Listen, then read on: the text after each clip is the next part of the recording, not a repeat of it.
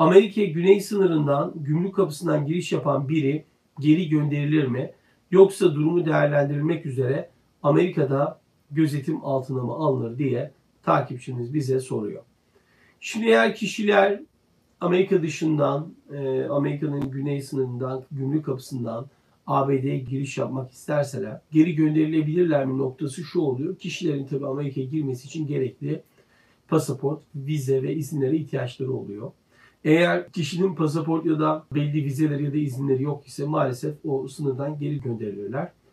Eğer kişilerin bu noktada Amerika'da kalabilmek için sığınma talebi tarzı başvuruları da talepleri olacaksa o zaman Amerikan gümrüğündeki görevliler kişileri Amerika'ya alırlar ve çoğu zaman da gözaltına alıp mülteci e, bölümlerine ya da işte mültecilerin sığınma bölümleri, tutuklu yerlerine sevk edilirler. Yani bunu da söylerken şey yanlış anlamayın. Hani böyle belli bir mülteci sığınma kampları yok burada. Dolayısıyla genelde tutuklu yerler oluyor bunlar. Ve bu şekilde gözaltına alınma durumları oluyor mu? Evet oluyor.